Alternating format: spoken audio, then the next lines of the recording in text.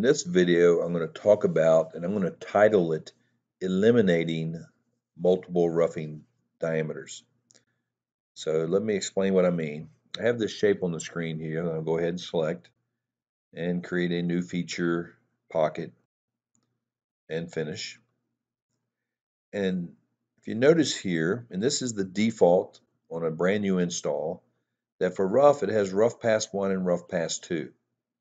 And if I take a look at rough pass 1, you can see the tool is a half inch end mill. And then rough pass 2 is a 7 16ths. Have you ever wondered why does it do that? Well, let me explain why. And it's actually one of the things that I personally turn off from the default install.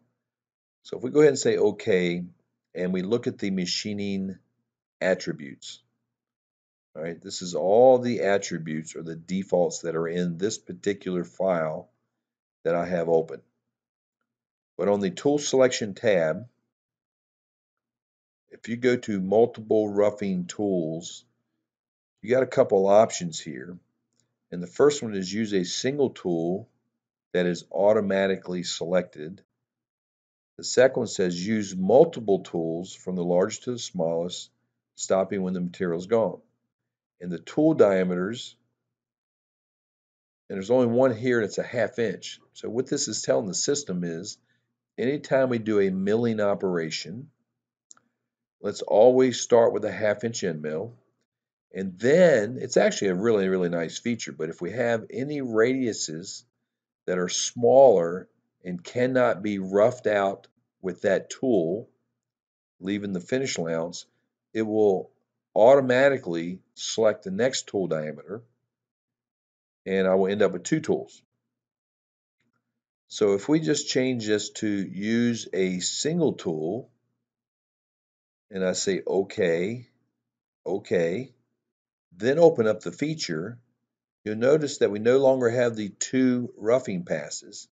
We only have the one and it's the 7 16 end mill, which was the biggest tool that it could find to contour even the smallest radius.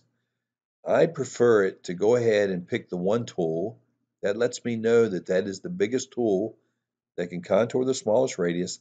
And if I choose at that time to use multiple tools, then I can just go to the milling tab and right here where it says multiple rough diameters, I could type in 0.75, comma, you know, 0.5, comma, and you can even put a zero on the end. And I'm going to say set apply. Notice that now I have three tools. Here's my three quarter. Here's my half. And because I said comma zero, it figured out the 7 sixteenths. So again, my point being to eliminate the rough pass one, rough pass two right off the bat. Uh, you can go into the machining attributes, go to the tool selection, multiple rough, and turn this off or set it to single tool. That way it'll always be one tool. It will be the largest tool possible, and then you can control at that point whether you want multiple tools or not.